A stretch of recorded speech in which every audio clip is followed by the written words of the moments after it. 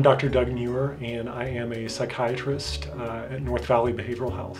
So, as uh, a psychiatrist, I uh, went to medical school. I am a physician, and I have specialized training in general psychiatry as well as child and adolescent psychiatry. Um, as a psychiatrist, I uh, evaluate uh, patients for the presence of mental illness or any psychiatric issues. Sometimes that can involve the use of medications, um, oftentimes it doesn't. Sometimes that does involve uh, providing therapy services as well.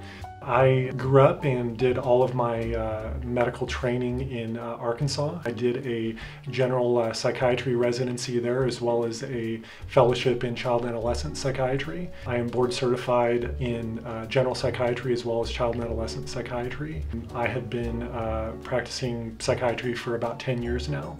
Prior to uh, coming to North Valley Behavioral Health, I practiced in Wyoming for several years. Uh, the communities uh, in Wyoming are not too dissimilar from the, the communities in Montana in that uh, the need for psychiatric services is very, very high. Um, you know, Montana, Wyoming, Idaho, consistently the states in the Mountain West uh, have some of the highest rates for uh, for suicide, for substance abuse, and for just a lot of the, the psychiatric psychiatric conditions that we treat. And there's not a lot of practitioners in those states, and that's uh, part of the reason that led to uh, to me coming here was to try to uh, increase the services in this area and uh, fill that need that's uh, that, that's there. So telehealth or telemedicine, uh, as it's sometimes called, is probably the easiest way to explain it. Is it's essentially like Skype. Someone sits in front of a computer and there is a camera on them, and I sit in my office at a computer. It's pretty convenient for a lot of people who live in more rural parts of the state, where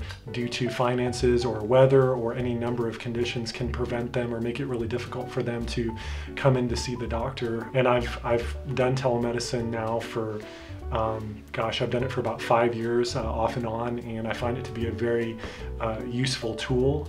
Uh, oftentimes, initially, the first visit when I see someone, I, I, try to do that in person, and then subsequent visits, uh, oftentimes we can arrange via uh, via telemedicine. It is HIPAA compliant, which has to do with confidentiality. There's um, really no way for anyone to get in on those appointments or encounters when they're happening. It's a very secure connection. You know, most people, it's a, a very appropriate choice for them. Um, I would say some, you know, some people it's not the most ideal choice uh, as far as if it's a very, very young patient, you know, someone who's probably less than five years old or so, it's maybe not the best choice because you do miss a lot in that uh, personal interaction with them. But it's a great choice for, uh, you know, for all other ages and, um, and it's a really good service to have. So, a lot of parents might be curious as to when it might be appropriate uh, for uh, their child to be referred to see a psychiatrist. And what I would really say is um, really when there is a really big change in their level of functioning in school and the home environment, when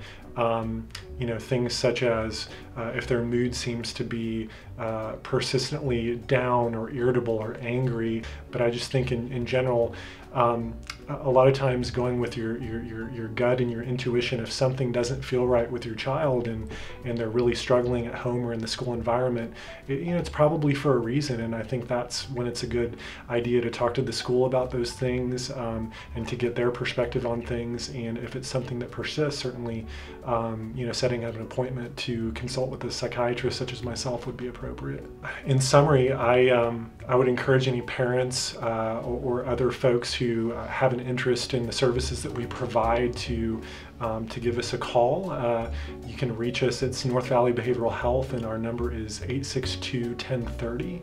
You know, I, I love what I do. I, I, get to be a kid on some level on a daily basis, and I tell you, there's nothing more satisfying than seeing someone who is really, really struggling to uh, maintain in school or to maintain it in the home environment, and really to see them work through that and to flourish and, um, you know, really to grow into a, um, uh, you know, to grow into a better person.